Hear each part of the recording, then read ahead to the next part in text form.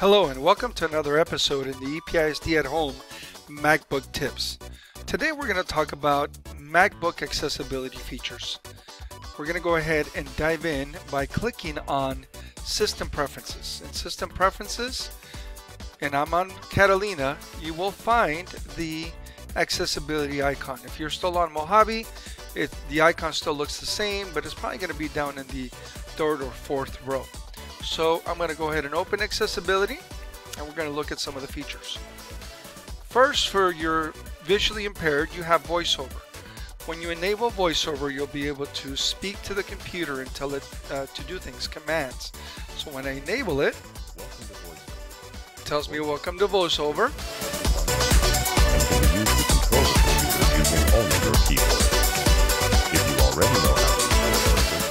So you can click on learn more, you can click on use voiceover, or you can turn off, and I'm going to turn off voiceover.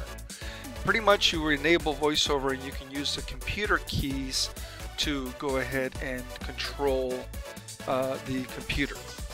With Zoom, I like the Zoom feature where I can use the control gestures, command, I mean control, and two fingers on the trackpad to zoom in, zoom out. So if, if you have a visual impairment but you're not blind, and you need something to be closer uh, zoomed in then you can do a full zoom in on anywhere that your mouse points by clicking control by clicking and holding control and then two finger up and down. Two finger up and down on the trackpad will have you zoom in.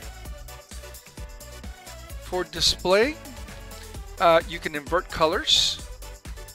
You can change the size of your cursor so there's large, there's normal, and I like to write somewhere there in the middle. If you need a larger, you can definitely do that as well. For speech, uh, if you're listening to something being played back to you and you want to check the voice, then you can click play. Alex is the preset. Voice. Most people recognize me you by my voice. You can change the voice if you wish to. If you want to, there's uh, different voices that I've selected. If you want more, you click customize and you can select other voices. Don't go crazy on selecting voices because these take space on your computer. If you want to see what it sounds like, you can go ahead and click on the name and then click play. And that's uh, that will preview the voice for you. The moment you click the, the checkbox or the box and check it off, it will begin downloading the voice. So don't get too crazy on voices. Uh, you can have the computer read the or pronounce or say the announcements that come in. So if uh, if there's a message from the computer, an error, or a message from your mail or something like that, it will actually read the announcements for you. If you select speak everything that's under the pointer, uh, and then you select always. Delay text. Okay, so it'll read whatever wherever your pointer's at. There's a little delay. And right now it's reading everything that I'm pointing to. Business application Dock item. So you can definitely do that. Under descriptions, you can have the computer play the audio descriptions when they are available if you have a visual impairment. For hearing impairments, you can have the computer flash when an alert comes through and you won't see it on mine, but if you check it off, you can test it and you will see the flash. Also, the audio. Uh, normally, uh, systems are set up with stereo audio, but uh, if you're hard of hearing on one side, you know, uh, than the other, then you can have it play in mono, and both sides will play the same sounds. I think that's a really good feature.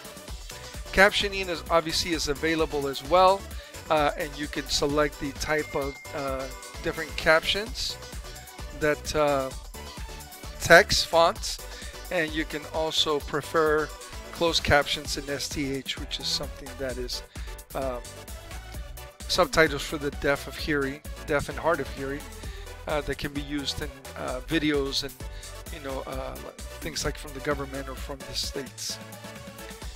For motor uh, uh, disabilities you have voice control. Voice control is also available on the iPad and on the iPhone. And so when you enable voice control you will have a, uh, a little command. It'll look like dictation, Okay, so you'll have the command It'll look like dictation. And uh, you'll be able to talk to the different, uh, you'll be able to say different things like open Microsoft Word or close Microsoft Word or once you have a program that's open you can say numbers and it'll show numbers so that you can select different options especially if you have a, a motor uh, a disability where you can't type or you can't hold a mouse you can definitely enable those features right there with keyboard uh, you can enable sticky keys uh, and you can enable slow keys as well so you have some uh, if you have some functionality in your hands and you can enable sticky keys and it will uh, work that for you as well. The pointer controls, you can select the speed, the double click speed, and the spring load delay as well.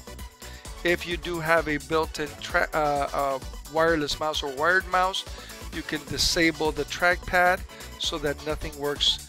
Right now I'm touching my trackpad and it, uh, and, it, and I and it, it wouldn't work unless uh, it won't work until you uh, when you plug in your mouse so if you have a wireless mouse that you're using something that's closer to you uh, that's easier for access then you can disable the trackpad when you plug those in alright under Siri Siri we all know what Siri is but if I can't speak to Siri how am I going to get answers from Siri well there's a fix you can enable type to Siri. So when I click on Siri, I am able to type so I can say define open.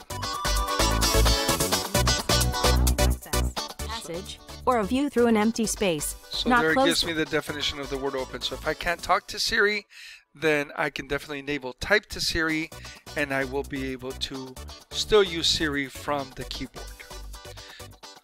One thing that I like to have if I'm going to use this toolbar or this uh, accessibility features, I want to make sure that I uh, enable the status icon up here. So once I did that, you saw that the accessibility icons came up.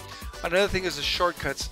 Uh, if I wanted to set one of these from the shortcuts, I can do a option command F5. So option command F5 will allow me to accessibility options enable or disable any of the features here from the accessibility options. Okay. Apple does have a website out there that will uh, help you with uh, knowing, learning about access more accessibility features.